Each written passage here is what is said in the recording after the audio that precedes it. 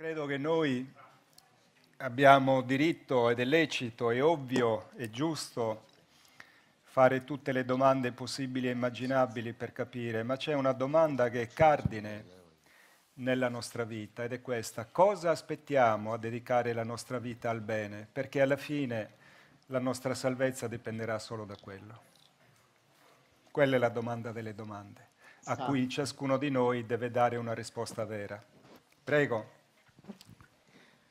Buonasera a tutti, io sono Alessia e innanzitutto vi ringrazio per tutto quello che fate ogni giorno e per il sapere che tramandate.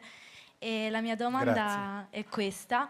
Ehm, Nell'Apocalisse si parla dei due testimoni e io volevo sapere chi fossero, cosa significassero e in che epoca ci troviamo dell'Apocalisse biblica. Grazie. Prego, prego Giorgio.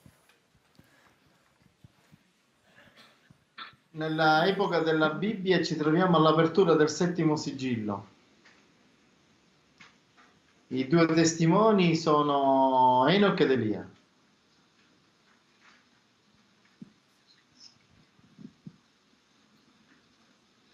Questo ti posso dire.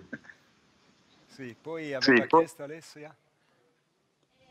Ehm, no, in che, epoca, in che epoca ci troviamo ah, e poi se è possibile, quindi come aveva detto Uh, Giorgio che ci troviamo nell'epoca, cioè io ho sentito nella in vecchia conferenza che ci troviamo nell'epoca dei due testimoni e che quest'epoca dura sui tre anni. Sì, sono due, due epoche conseguenti, l'epoca dei due testimoni si interseca con quella delle coppe, quindi mentre una sta, si sta chiudendo l'altra sta iniziando. Ok, va bene. Questo l'hanno gli extraterrestri l'hanno anche detto attraverso il fenomeno dei cerchi nel grano. Quindi siamo di fatto nell'ultima fase dell'Apocalisse, l'ultimissima. Poi ci sarà un nuovo cielo e una nuova terra.